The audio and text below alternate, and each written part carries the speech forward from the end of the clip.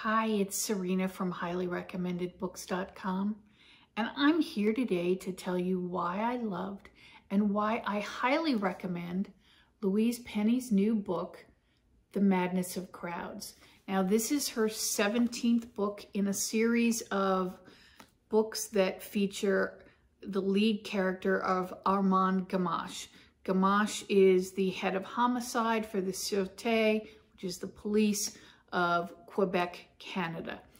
He doesn't live in Quebec. He lives in a small village called Three Pines, which is apparently in a forest, not even on a map. It's so small.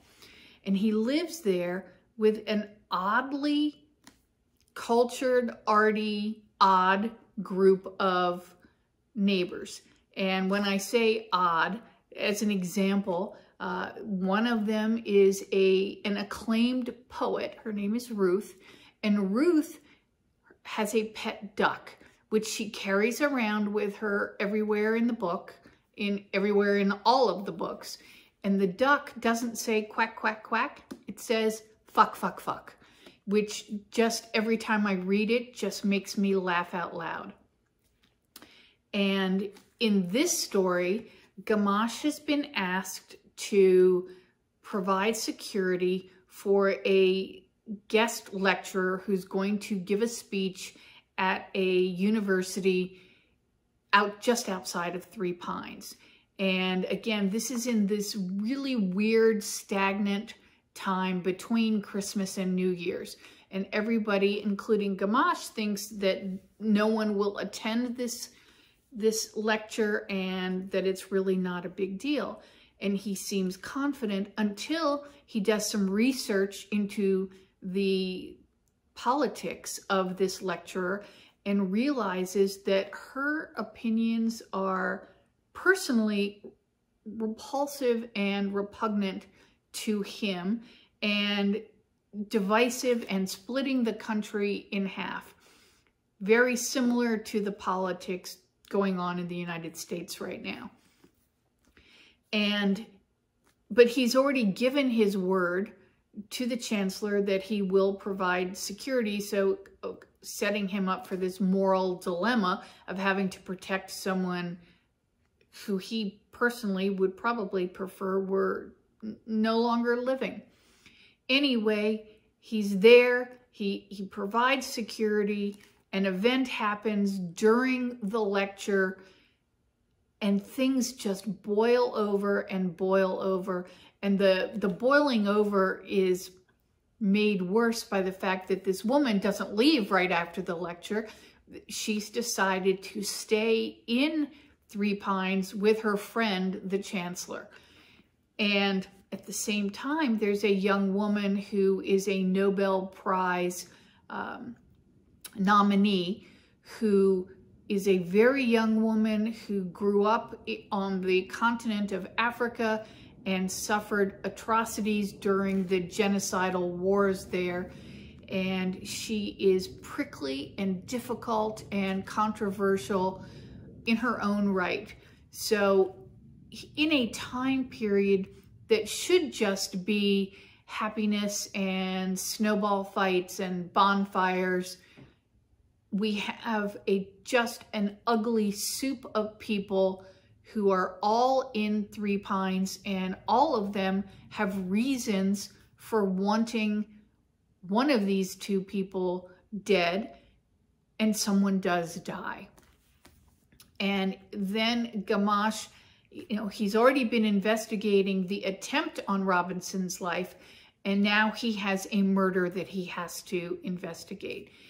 And, uh, you know, uh, as we all know, the past has long arms. And here, events that took place decades before that seemed tangential at the beginning become very relevant. And Penny just weaves this mixture of present and past, not in one of those chapter chapter kind of ways, but just explaining to us how it all works and giving us clues without giving us clues. So you really will not know who it was, but you are just so invested in all of the people and holding your breath and worrying that it is not someone closely associated to Gamache himself. Now, again, this book talks a lot about the pandemic, and it was an important plot point for Penny. She says in the acknowledgments that she started writing it in March of 2020 and that it was originally in her mind, it was going to be set during the pandemic. But ultimately, she changed her mind and set it after the pandemic had begun to wane and there was hope and people could see a future. And there's sort of a mantra during the book. In, in French, it's ça va bien aller. In English, all will be well. And that is a, a catchphrase that Professor Robinson is, uses, but Penny's throwing it out there to tell us the same thing. Ça va bien aller. It's all going to be okay. And if we just stay away from the madness of crowds, title of the book. So it really, you know, everything kind of comes full circle there. So I highly recommend this book. If you love Gamache, you're going to love this book. If you don't know anything about him, you're still going to love this book. It's a really great murder mystery, and you could take all of the social consciousness parts of the story out of it, and it would still be a great book. But the social consciousness and the pathos there and uh, the complexities of the characters and the humor just make this a top-notch book and it is no wonder that her books always land on the New York Times bestseller list. So read this book. You will love it. I loved it. As I said, I highly recommend it. Now, don't forget, sign up for my newsletter at highlyrecommendedbooks.com. Go there, you'll see there's a, a button you can click. It's so easy. If you sign up, you'll be on my newsletter list that will automatically entitle you to be eligible for a prize giveaway. I do a drawing once a month. It's free. You'll get, if you win, you'll get a box filled with really great things books and tote bags and mugs and candy. It's great. So sign up and again, you know, I post on Instagram and Facebook so you can find me there as well. Have a great day and I hope you enjoy whatever book you're reading.